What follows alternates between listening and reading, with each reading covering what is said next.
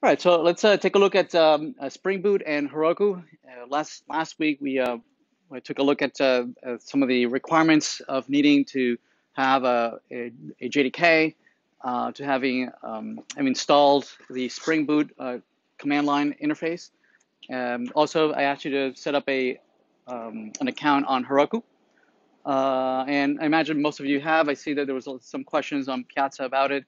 Um, uh, right now, the only real thing that we need is just an account on Heroku uh, that you haven't you have a JDK uh, and uh, you have uh, the Spring Boot command line interface. Right, everything else, uh, please try to get that as soon as possible. We won't need it for a couple weeks still, but know, I'd rather deal with those pain, that pain uh, early on and not have us you know catch us down the road. so we'll we'll set up a an account. We already I imagine you already have that.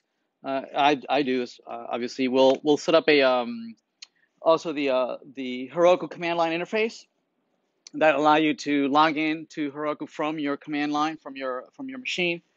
Um, also the Spring Boot uh, the uh, CLI command line interface will allow you to get up get up and, and running with creating um, Java middle tier applications, and that's where we're going to be getting started. And we'll be using that for the remainder of the half of the semester. Right, we'll we'll be using this uh, Spring Boot Java middle tier. Uh, we'll we'll add a uh, React uh, front end um, in a week or so, uh, but for now the, the the we'll just be using the middle tier for now. It'll be a web middle tier, so it'll allow us to create you know simple web pages, CSS, JavaScript, the, the you know the most basic stuff. So yeah, it, it all starts with a Spring init dash dash dependencies equal web, and that will create a an application. So let's uh, let's do that.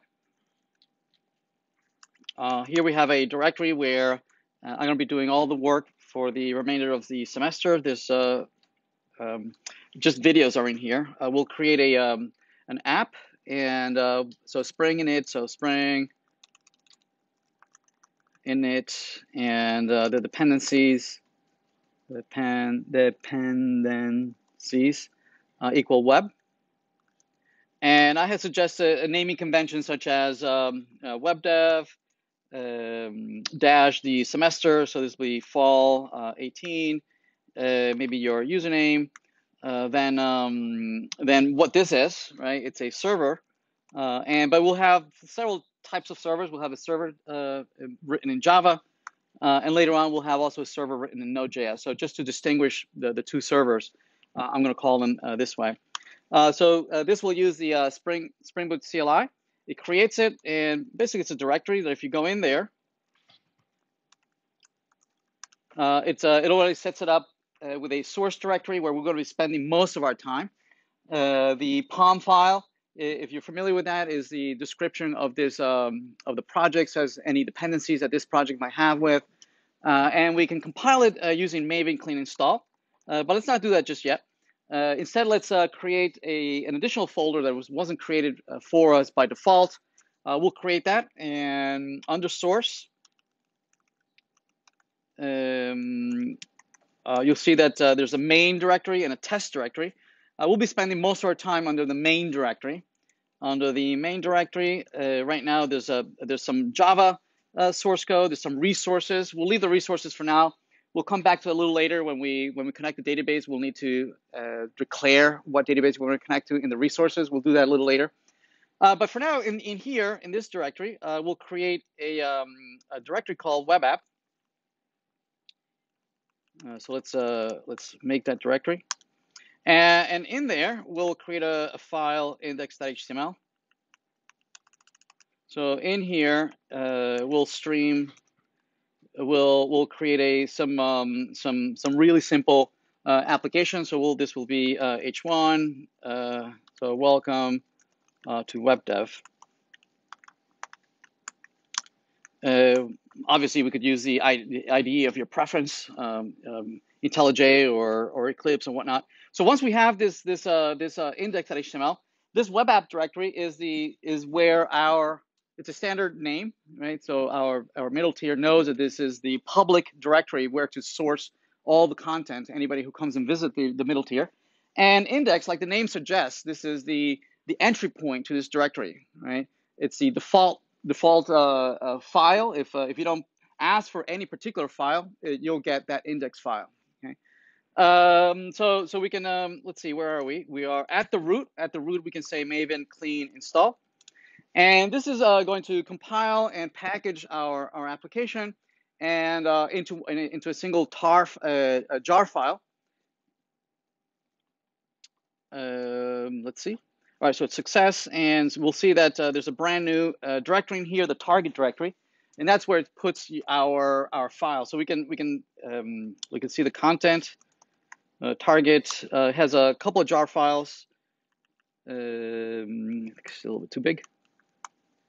Oh, there we go. So we got um, some generated force, uh, sources. So this is the one we want, this jar file over here. So we can run our server by just by just invoking that jar file. We can say Java run the jar file that is inside of the target directory, the web dev Janunzi jar file, yada, yada, yada. So we'll do that. Uh, that starts up a uh, local uh, server for us, listening at a default port 8080. All right, so now we have the server running locally on our machine, and we can point now our our uh, uh, browser to this um, uh, to this middle tier.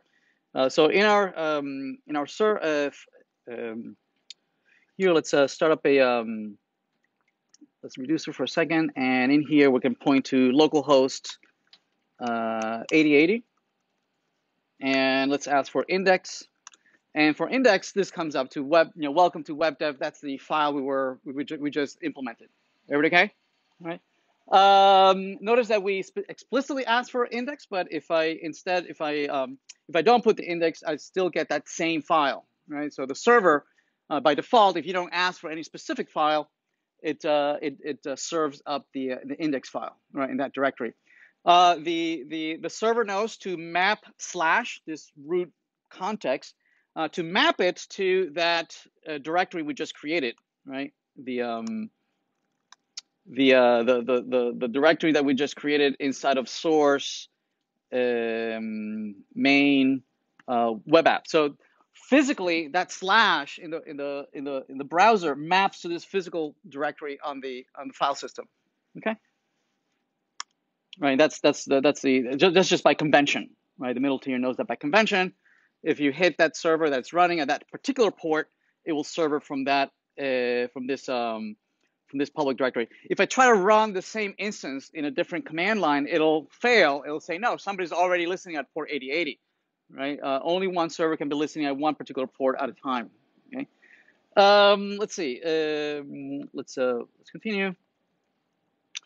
Uh, so we created the directory, we created the index file, we did Maven clean install, we ran the Java, uh, and uh, when we point to the to our to our uh, server, now we see the content of that index file.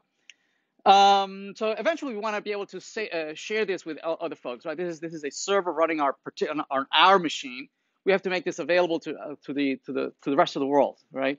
Uh, so to do that, we're going to be using the Heroku to to host our our remote servers, okay? And the way Heroku works is that we need to put our all our source code in a in a um, in a source control, all right? Um, in Heroku's source control, uh, we're going to be actually working with two source controls, right? One is Heroku's, which is private, right? Only Heroku sees it, uh, and obviously, obviously you can post to it and push all your content.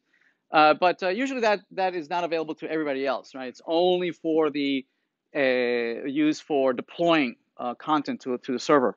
Instead, we're going to have a, a, a mirror of that repository, which is going to be your private uh, Git, which you're going to share with us, right? And that's where we're going to be using for grading you. Yes. Uh, so it's going to be a little awkward that you have to maintain two repositories. Uh, one where uh, you push to uh, to deploy and, and and restart the server, and the other one just to share with us so that we can grade you. Okay. Uh, but it's not it's not uncommon in an industry that you you're you know you're handling you know two three dozens of of source source control repositories. Uh, so anyway, so to uh, to get to get going with the uh, repository, we're going to uh, do a git init. Uh, let's see. It's, um, actually, there's no init. There's no. It's not a. It's not a, a uh, git repository. Where are we? okay, so we are at the root. So at the root, we do a git init. so it initializes it and just creates this dot dot git. Notice that this git ignore was already there. Okay. The uh, when we created the project, it already had created git ignore with the correct files to ignore, right? Like all build files or class files, jar files. None of that we want to put in repository. Okay, so make sure, right, whenever you're going to commit, none of those those files uh, should go into the repository. Anything that can be recreated from source should never make it to the repository. Okay, only source control. Uh, so that was created for you, but we just created .git.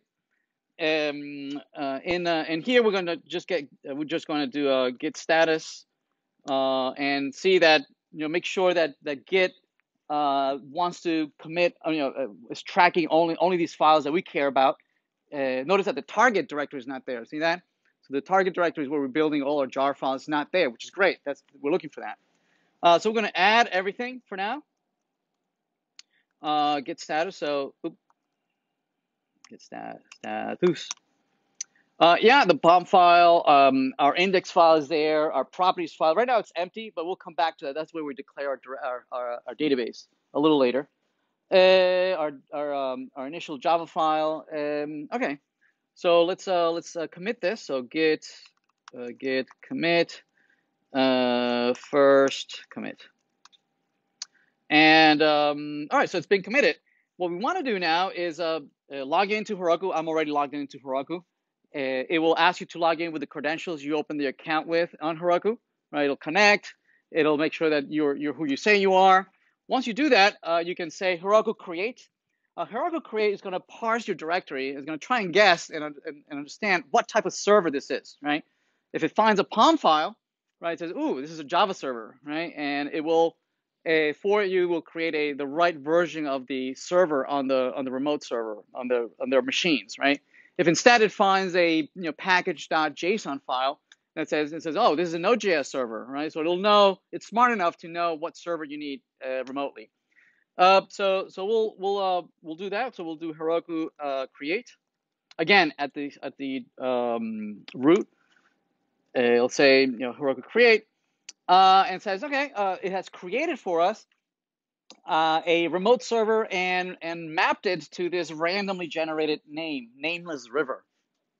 Okay, um, and uh, and also has created for us a, a remote repository, right, for us to push our content to to that Heroku uh, instance.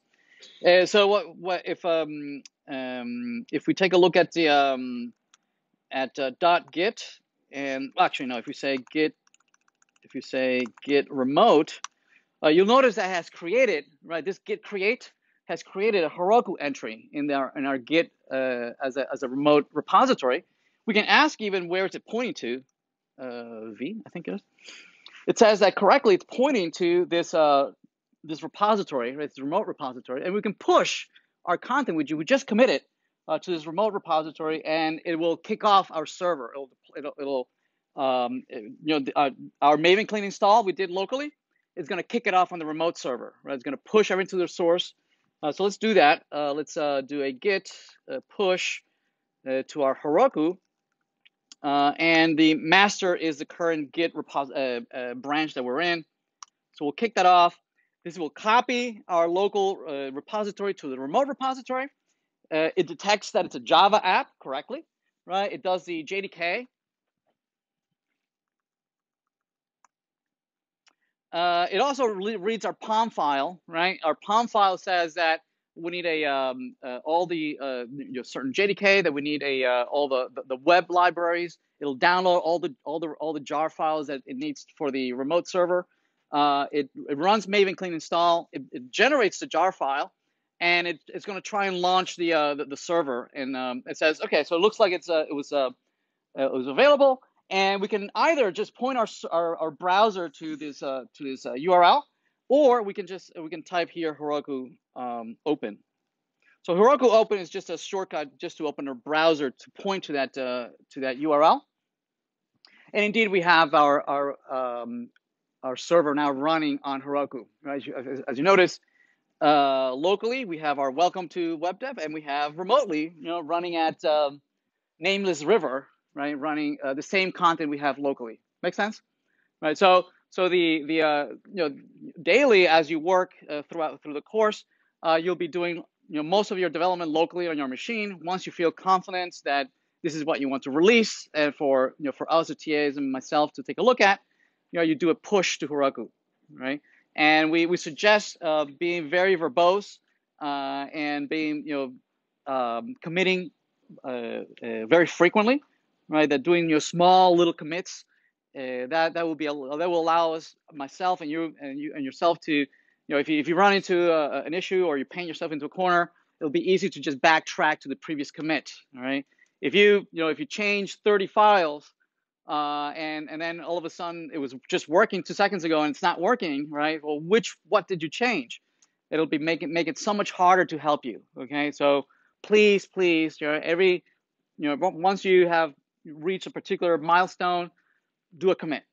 Okay, even if you don't push it right away to Heroku, right? Uh, you know, do frequent commit commits. You know, small little commits uh, it'll be easier to backtrack, you know, if you do break it. And we will break things, okay? We will break things, and it'll make it easier if you have multiple commits. Um, all right, so we have the uh, the, the the server running uh, locally and remote. Here's our, our local server. Um, let's see. Uh, let's continue here. It's running uh, the tail. You can uh, you can rename your application uh, by using Heroku apps and then rename and then give it your own name. Uh, so for instance, let's uh, I'm going to rename my my my um, I'll rename my application as the as the name of the directory. Okay, so where are we? So we're in web dev yada yada yada Janunzi yada yada. Okay, so uh, so we'll do a uh, let's copy that. Where is it? Heroku copy. Oops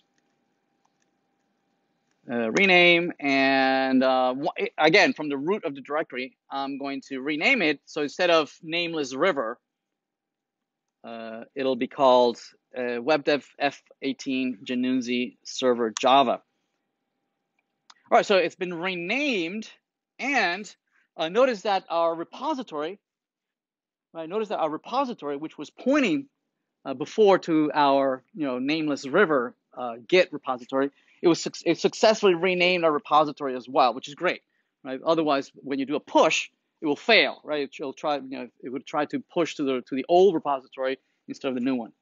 All right. Uh, actually, let's try git remote v. Yeah, it looks like it's pointing to the right thing. Okay. All right. Uh, uh, URL. Da, da, da, this this just uh, you know, just reminds you that you might need to change the remote uh, URL, right? If you've played around with uh, your uh, Git.